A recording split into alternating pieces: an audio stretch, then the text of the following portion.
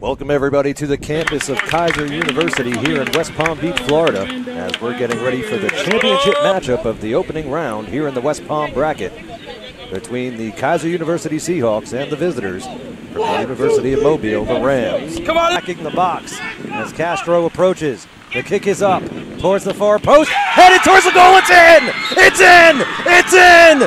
Keiser takes the lead in the final minute off of a header by Ciro Demine. The Seahawks score in the final minute as they take the lead one to nothing. It's Castro with the assist and Demine with the goal.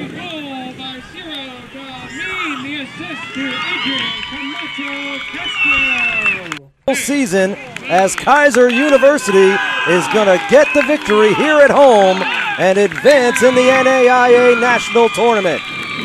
Keiser wins 1 to nothing on the goal by Ciro Demine, set up by uh, Adrian Camacho Castro as the Seahawks in dramatic fashion take the victory here at home by a final of 1 to nothing.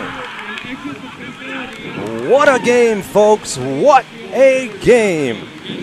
As the Seahawks just able to take the victory in the last minute of the game off of the header from Ciro Demine.